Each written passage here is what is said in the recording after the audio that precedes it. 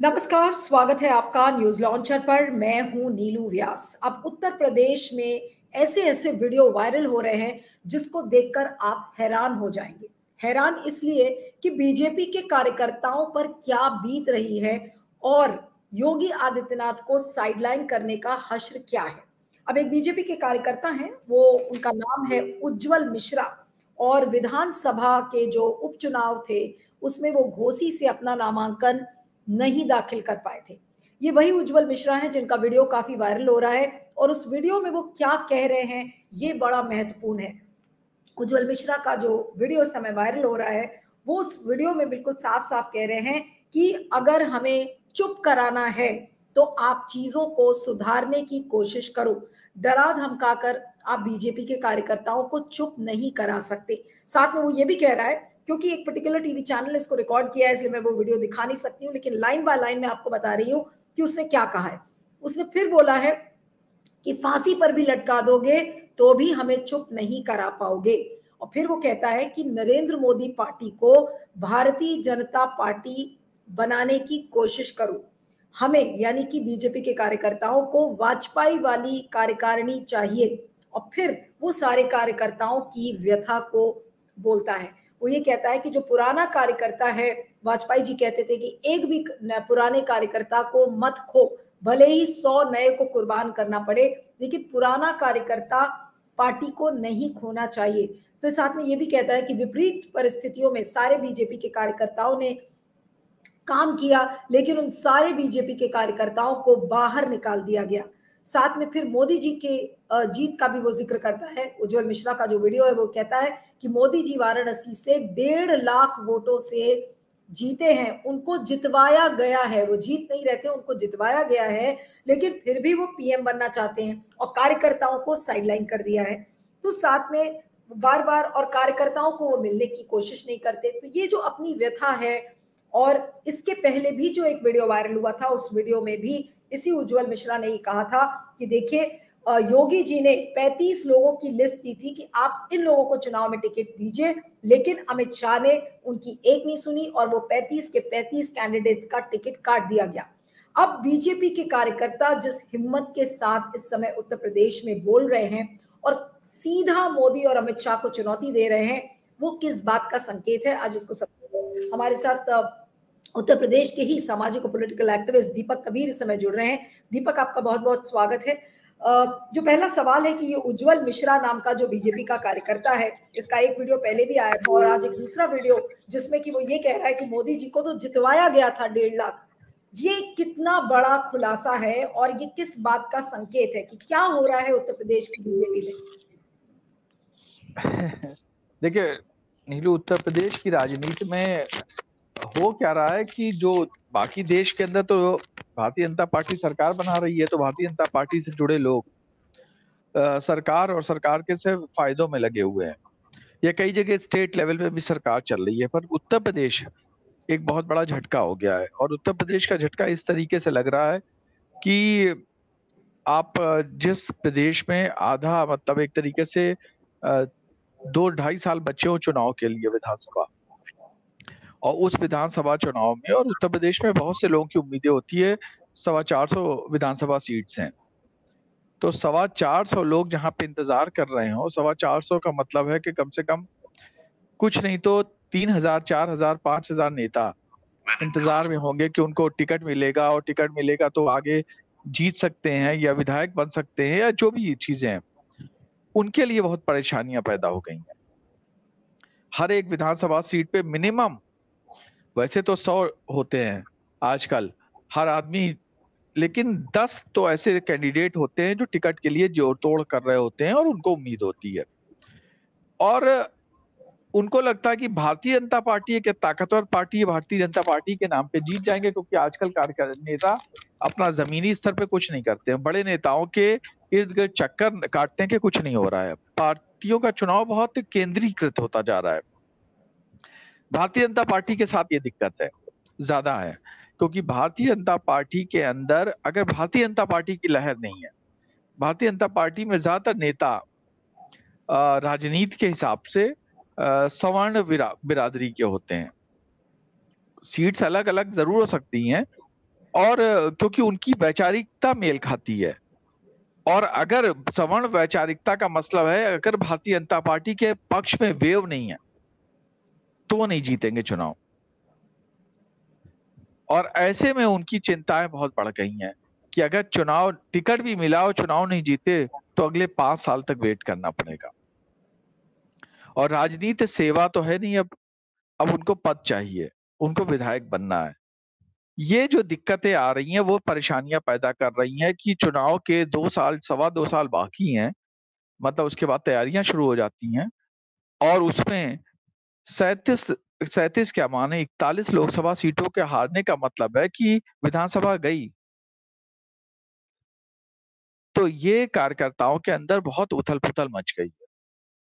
नहीं लेकिन अगर कार्यकर्ता सीधे सीधे मोदी जी को चुनौती दे रहे हैं और ये वो कार्यकर्ता है जो कह रहे हैं कि मोदी जी केवल और केवल डेढ़ लाख वोटों से जीते हैं और वो भी उनको जितवाया गया है तो क्या आप कार्यकर्ता यूपी का बीजेपी का उत्तर प्रदेश उत्तर प्रदेश के कार्यकर्ता मोदी मोदी इसलिए करते थे या सभी जगह के करते थे क्योंकि जब तक मोदी चुनाव जिताऊ आदमी थे। सारे चुनाव मोदी अपने चेहरे पे लड़े हैं पिछले तीनों चुनाव। इस बार तो खास तौर पे मोदी की गारंटी है, मोदी का ये है, मोदी का राम मंदिर है, मोदी का सब कुछ है, मोदी के पोस्टर हैं। और मोदी ध्वस्त हैं। बुरी तरह ध्वस्त है मोदी। तो जब मोदी का जादू खत्म तो मोदी की आलोचनाएँ शुरू। फिर मोदी चुनाव नहीं जिता सकते अब। अब उत्तर प्रदेश में मोदी चुनाव नहीं जिता सकते। थोड़ी बहुत उम्मीद बची हुई है, वो योगी जी से बची हुई है, क्योंकि योगी जी का ये इम्तहान नहीं था। तो मोदी चुनाव नहीं जिता पाते, जो आदमी अपना चुनाव रोध होके जीत पाया हो, डेढ़ लाख वोटों से, वो चुनाव क्या जिताएगा? और प्रधानमंत्री बन रहा है तो इसका मतलब उत्तर प्रदेश के लोगों से मोदी का मोह भंग हो गया, जो राजनीति को समझते हैं। ये ज़रूर है कि टिकट मिलने के लिए हो सकता मोदी वगैरह का रोल हो।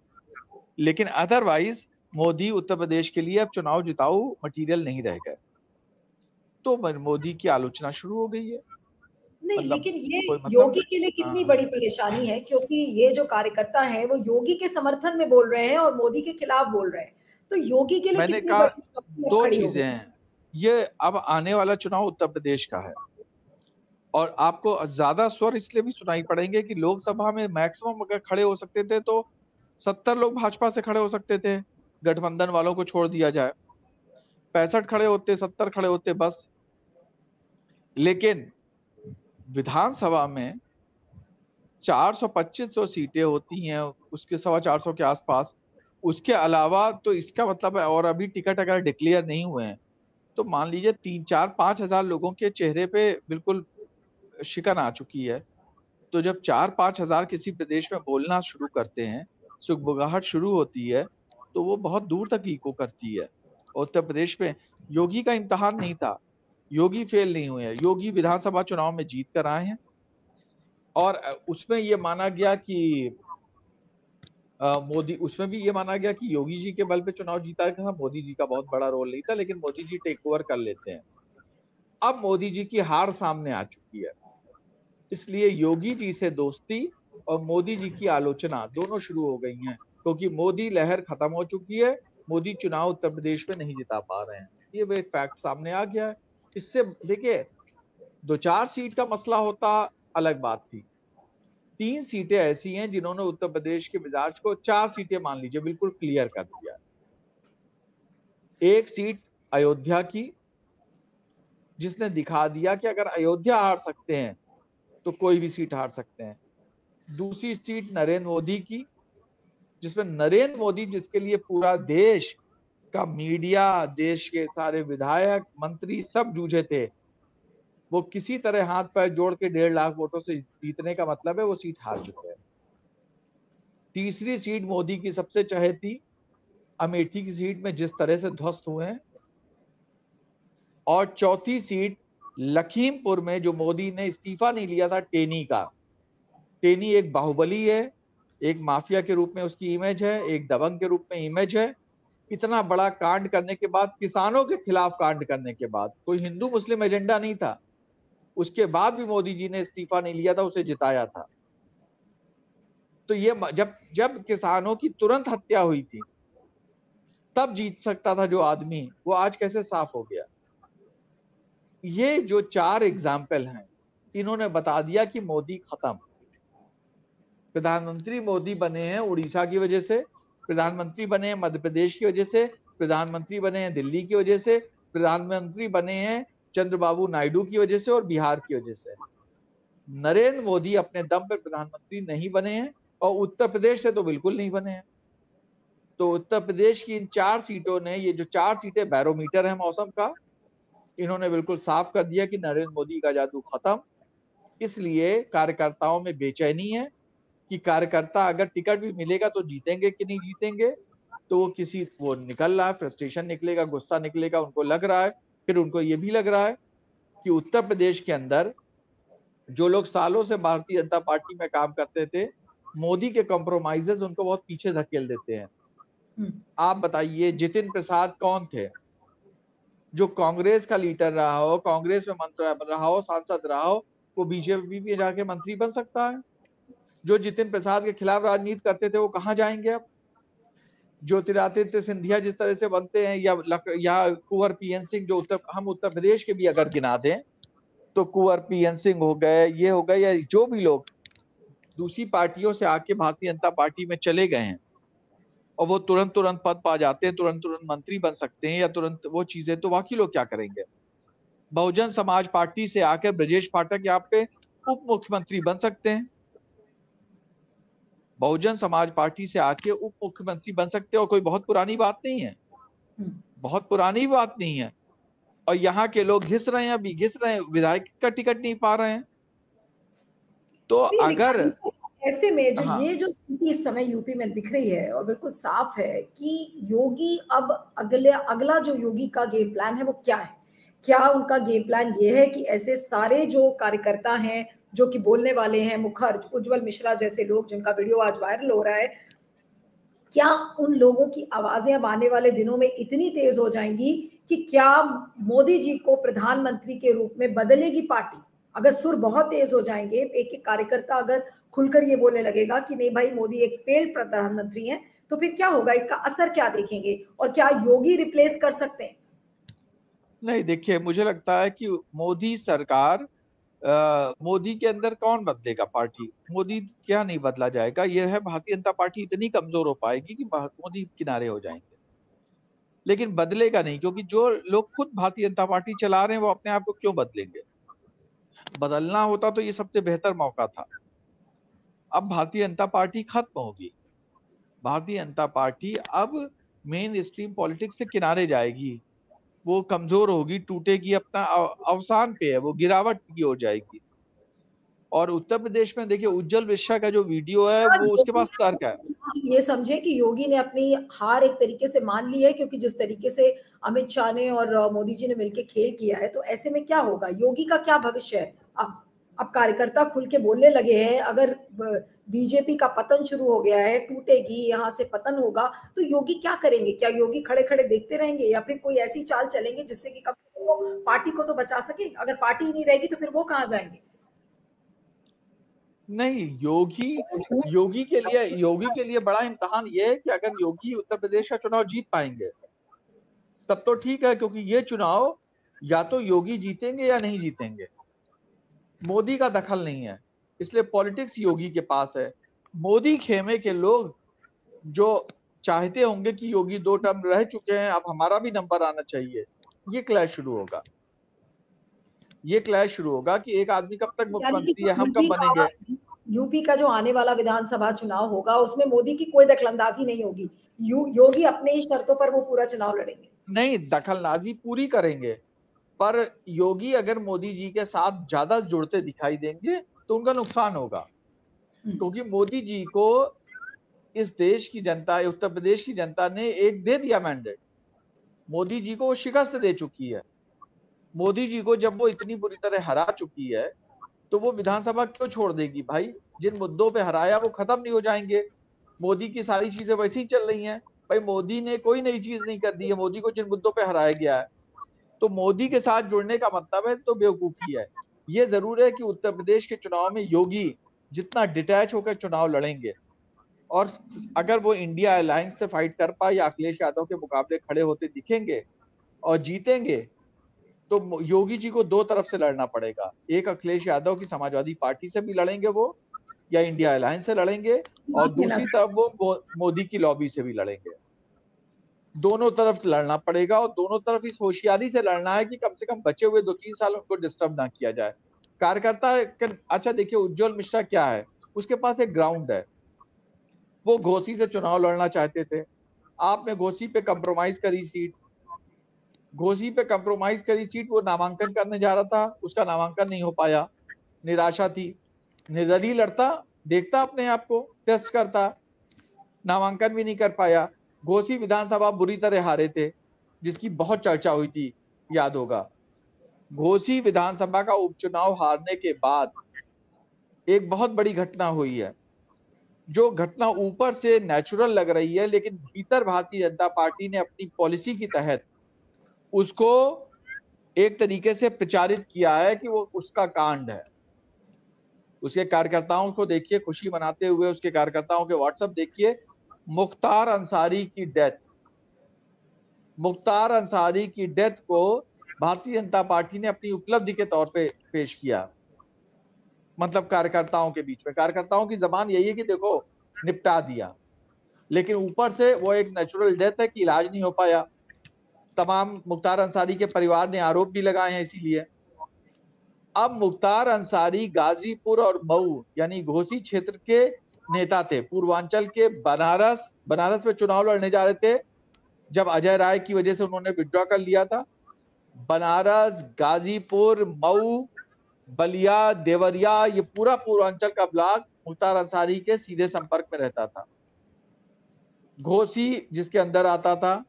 मुख्तार अंसारी की मौत के बाद भी गाजीपुर भी हारे, घोसी लोकसभा हारे और आसपास भी चीज़ें हारे। तो यानी कि लोगों को यह पता चल रहा है कि अगर स्थानीय इतने बड़े कांड के बाद, पहले मुख्तार अंसारी को बहुत बड़ा उठाया गया कि वो माफिया है, उसको हिंदू मुस्लिम डिवाइड के रूप में पेश किया गया, उसके बाद उसकी मौत हुई, अतीक अहमद की पूर्वांचल में, इलाहाबाद भी पूर्वांचल का बॉर्डर लगता है, पहले ही मौत हो चुकी थी, हत्या हुई थी उसकी, लेकिन इसके बावजूद अगर बुरी तरह से शिकस्त हुई तो जनता को पूर्वांचल की जनता को लग रहा है कि पूर्वांचल में साफ़ है, भारतीय जनता पार्टी। नीरज शेखर हारे हैं, चंद्रशेखर प्रधानमंत्री के लड़के। तो पूर्वांचल में भाजपा साफ़ है, पश्चिम में भी समाजवादी पार्टी का उसका अपना गढ़ है, पूरब में भी वो लड़ती है। तो बचा कहाँ? तो उत्तर प्रदेश खतरे के निशान से ऊपर है। और खतरे के निशान से ऊपर है तो इसमें बहुत बिलबिला के लोग समाजवादी पार्टी ज्वाइन करेंगे लास्ट में। लेकिन उसके पहले वो उम्मीद कर रहे हाँ। योगी के लिए कितनी बड़ी चुनौती है? अब एक दो सवाल बस आपसे और करूँगी कि योगी अब ऐसे में क्या करेंगे? क्योंकि वो भी तो छटपटाए हुए लग रहे हैं क्योंकि पूरा खेल मोदी और शाह ने खराब कर दिया खुद अपनी रणनीति से। कि अब यूपी की जनता को योगी कैसे मुँह दिखाएँगे? नहीं योगी ने बहुत सफ़ाई से अपने आप को इस पूरी लड़ाई से अलग कर लिया है। योगी का ये कहना है कि ये लोकसभा की लड़ाई थी मोदी और अमित शाह जाने। मोदी योगी साहब हो सकता है इसको हवा भी दे रहे हो। करें करके देख लिया अपने मन का। हम्म। बहुत टिकट बांट रहे थे। भाई हम्म। आप नेता तो बोलता नहीं है। अपने समर्थकों के हाथों ही तो बात फैलाई जाती है। तो उन्होंने जो उज्जवल मिश्रा जैसे लोग योगी के समर्थन से आज बोलते हुए नज़र आ रहे हैं आपको लगता है? पता नहीं लेकिन कई लोग ये अफवाहें ये चलेंगी। योगी जी को अपना प्रदेश चलाना है। उन्होंने अपने यहाँ के ऑफिसर्स की मीटिंग ले रहे हैं या जो भी कर रहे हैं कि प्रदेश के विकास पे ध्यान दो, प्रदेश के लॉ एंड ऑर्डर पे ध्यान दो, उनके चेहरे पे कोई तनाव नहीं लेकिन वो भी सब पे भरोसा नहीं कर सकते, क्योंकि ज़्यादातर लोग तो मोदी लॉबी के थे अब तक। अब। जब मोदी की शिकस्त हुई है, तब बिलबिला रहे होंगे, कुछ लोग परेशान हो रहे होंगे। तो यहाँ तो राजनीति में तो यह है कि किसी के बारे में आप बोल नहीं सकते। जरा सा बोलोगे, वो जाके शिकायत करने पहुँच जाएगा। वो पहले ही को हटवाने की बात कर ले। अभी ये चर्चा है कि दोनों मुख्यमंत्री की योगी से पटरी नहीं खाती है। वो अमित शाह की हाजिरी बजाते हैं। अभी को योगी जी को हटा के किसी को मुख्यमंत्री बना दे कार्यवाहक मंत्री की चेंज आने जा रहा है। तो। ये सब देखे योगी ऐसी जगह है जहाँ हर तरफ़ दीवारों में कान है। हम्म। और उनको भी नहीं मालूम कि उनके साथ कौन है। तो भारतीय जनता पार्टी इस समय बड़ी अजीबो गरीब देखिए सत्ता में जो होता है उसके लिए सौ लाभ होते हैं तो सौ नुकसान होते हैं। हम्म। सत्ता में जो रहता है उसको फ़ायदा तो बहुत होता है। जनता के लिए काम कर सकता है लोगों को उपकृत कर सकता है लेकिन सत्ता छिनने का डर रहता है। जिसके पास सत्ता नहीं है उससे छिनने का डर नहीं रहता है। तो योगी जी तो बिल्कुल इस समय अकेले होंगे सोच रहे होंगे किस पे भरोसा करें या ना करें। उनको अपने दो ढाई साल पूरे करने हैं और अगले चुनाव की तैयारी करनी है। यानी कि कुल मिला के जो मेरा आखिरी सवाल है कि क्या ये उज्जवल मिश्रा जैसे लोग अब ये योगी की सेना के रूप में उभरेंगे और मोदी विरोधी जो ये आवाज़ें हैं ये तेज होंगी और ये पूरा माहौल एक बार फिर से योगी के फेवर में आ सकता है देखिए योगी जी को फ़ायदा तभी होगा जब इस पूरी हार को नरेंद्र मोदी के हार में बदला जाए और योगी हम्म। की कोई बुराई ना करें हम्म। इसे योगी के फेल्योर के रूप में ना देखा जाए तभी फ़ायदा होगा तो क्यों नहीं वो करने की कोशिश करेंगे? हम्म। अपने ऊपर क्यों ले लेंगे? दूसरे दूसरे की गलतियाँ अपने ऊपर क्यों लेंगे? हम्म। तो उज्जवल मिश्रा लोग क्योंकि बागी हैं तो साहसी हैं तो इंटरव्यू में बोल देते हैं। लेकिन ज़्यादातर लोग इंटरव्यू वगैरह पे नहीं बोल रहे हैं। पर दोस्तों में चर्चाएँ हैं आपस में बैठते हैं चाय की दुकानों पे बोलते हैं तो खुल के बोल रहे हैं। चर्चाएँ हो रही हैं लेकिन वीडियो में या इस्तेमाल हो जाए वो चीज़ वो नहीं कर रहे हैं। पर बिल्कुल साफ़ है कि ये लोकसभा की हार मोदी जी की हार है ये लोकसभा की हार अमित शाह की हार है और योगी जी इससे बचते हुए नज़र आएँगे। हालाँकि हम्म। बच नहीं पाएँगे क्योंकि जिसने वोट दिया है उसने भाजपा के खिलाफ वोट दिया। बिल्कुल बिल्कुल। तो ये चुनाव तो मुश्किल है। विधानसभा चुनाव लगभग असंभव है भारतीय जनता पार्टी का आप जीत पाना। लेकिन कोशिश तो योगी करेंगे और मोदी जी का अब सरदर्द नहीं है। मोदी जी को लोकसभा से मतलब था। गया तो अब उनको कोई हमदर्दी नहीं विधानसभा जीते या हारे कोई दिक्कत नहीं वो पाँच साल अब अब पाँच साल के लिए हो गए। उनको मालूम है इनकम्बेंसी वोट होता है तो वो चाहेंगे कि योगी जी हट जाए। उनको कोई दिलचस्पी नहीं होगी विधानसभा में विधानसभा बचाने की अकेली ज़िम्मेदारी अब योगी के कंधों पर होगी मोदी और अमित शाह हो हाँ। सकेगा तो इसे डिस्टर्ब करेंगे क्योंकि अगर सम, अगर मान लीजिए अखिलेश यादव की सरकार आएगी और नेक्स्ट लोकसभा होगा तो तो एंटी इनकम्बेंसी पैदा हो सकती है। बिल्कुल इसलिए उनके लिए ज़रूरी है ये बात।